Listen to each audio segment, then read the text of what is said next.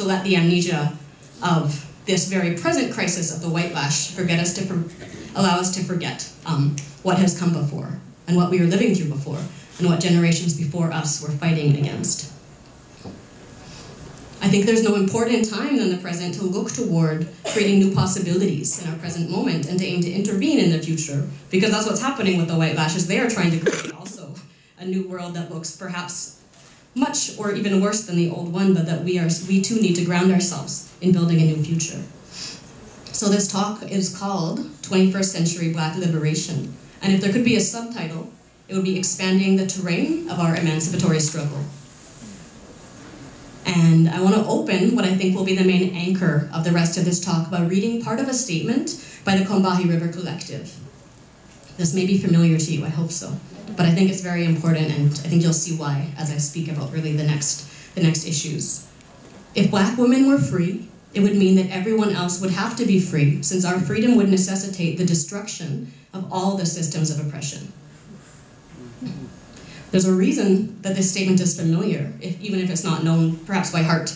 Um, it's an excerpt of a collaboratively, collaboratively written piece called A Black Feminist Statement, published in 1979 by a collective of black lesbian uh, feminists, including Barbara Smith, Audre Lorde. They were part of a broader collective that fought police brutality, fought police violence, and you know mod modern segregation. But they also insisted that our struggle had to be so much more than that insisted that our struggle take on gendered oppression, take on homophobia, and um, really broadened what it means to fight for freedom. There's a reason that this statement is still so widely used after 40 years after its initial publication, because it captures, I think, a world of complex and overlapping oppressions and also a world of liberatory possibilities. So really, I think we'll see, we'll begin to see how I'm using this to ground what it means for us to look at state-sanctioned violence in Canada for 400 years and what it means to try to address that and to break with that. I believe that this statement speaks to the importance of developing a political consciousness, a critical consciousness of the world around it. It urges us to look to the material conditions faced by black people, specifically black women, specifically poor black women in North America and worldwide, to better comprehend the world that we're facing, the world that we're trying to transform, and to allow us to map a broader vision of transformation than certain more narrow versions of Black Power movements had before. Not just for Black women's liberation, but for Black liberation and for human liberation more broadly. In the 1980s, Audre Lorde wrote something that remains today as true as ever. We are Black people living in a time when the consciousness of our intended slaughter is all around us. And I think she's using that in a twofold way, talking as well to the importance of political consciousness, of what so many, you know, activists and community um, community building black peoples have been doing before, just passing on that consciousness so we're better able to take on the systems that are continuing to really rob us of freedom. It's important to understand anti-black racism as not uniquely American, and not even as Canada too, but as part of a global phenomenon, something that has been global long past the abolition of the slave trade, which of course was a global project. Worldwide, black people are mobilizing against a lot at this moment, against the pending deportation of the Windrush generation in the United Kingdom, against not only police violence in North America, but the 60,000 Haitians to be expelled from this continent. There are thousands of Nigerian women still held in Italian prisons for prostitution-related offenses, and of course, I think all of us are deeply saddened and horrified by our um, by the Africans that are now dying continually in the, in the Mediterranean Sea trying to reach Europe, which is being, of course, defended, defended by Frontex. Two years before the eruption of the Black Lives Matter movement, 50 to 60,000 black women took to the streets in Brazil to protest the state-sanctioned violence against black women, as well as ongoing police impunity. So despite its global realities, Canadians are trained to identify anti-black racism as something that occurs in another place, the United States, or another time, the past, um, and I mean that very literally in terms of trained. I mean universities, very much like this one. I mean public schooling. I mean education more broadly. I mean the media, that we continue to pass on this message so well and so frequently that the, exist the conditions of black people in this country so frequently remain erased. The present situation that is here and now, as well as the past, is continually displaced and disavowed. And that's despite the amazing work that's happening even here on this campus. I'm so proud to have been, uh, to have the Black Liberation Collective present here. I think that that's an extremely important initiative. Um, but what's happening in these schools and in these universities is not accidental. It needs to be understood as a concerted and ongoing effort to erase Black experiences from the public realm. And it's an absolute necessity that this lack of awareness and consciousness in the broader public needs to be interrupted. And I think many of us here are committed to that interruption. A lack of knowledge can be, um, is often described as, in, as a, a kind of innocence, right? I think that a lack of knowledge, the lack of knowledge that we're looking to today, though, is one that is willful. And in the context of structural harm, that kind of innocence means very little. So James Baldwin in The Fire Next Time spoke to this very well.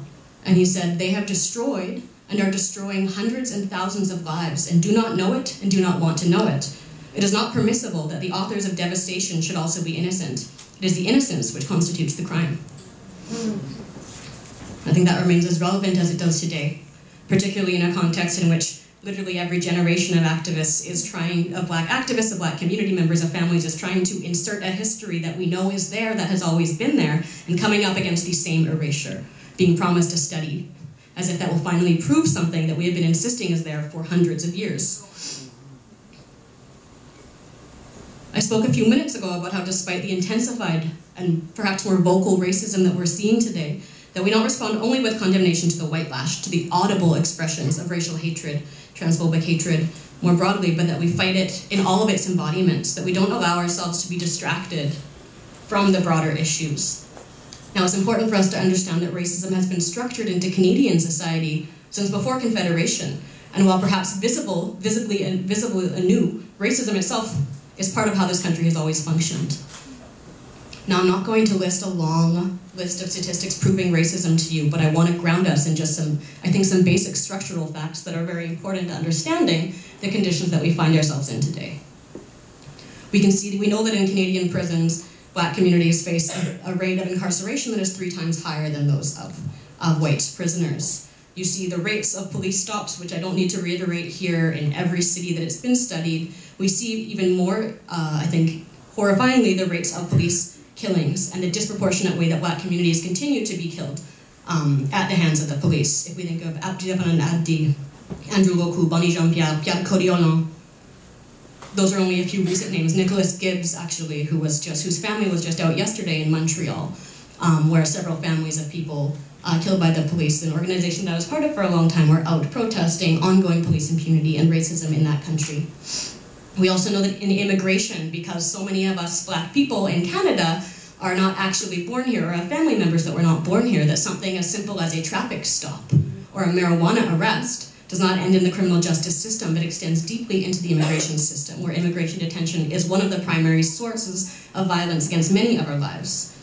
In, Can in 2016 to 2017, over 6,000 migrants were detained, 439 for longer than three months, and including 162 minors, which is something that we often look at as a very American phenomenon, this idea of incarcerating children, right? This is to say that it is not just Trump, that this country's history of settler colonialism and slavery are living today across all the institutions that are public institutions that are, that, that are funded by taxpayer money, that are really Canadian institutions. And it's essential that we remember this fact when we face the rising tide, the rising tide of white nationalism and white supremacy today. Lest we become too involved in the crisis of the present, the historical context really allows us to see more fully what we're up against. With Policing Black Lives, it was important for me to show how ways of viewing and treating blackness that were created under the global transatlantic slave trade and through 200 years of slavery in Canada were not abolished when Britain's colonies abolished the slave trade in 1834. Instead, widely held beliefs surrounding blackness that were forged under slavery, that black people are pathological, more animal than human, less sentient, less able to feel pain, possessing a dangerous sexuality, and criminal, have carried forward into the present day.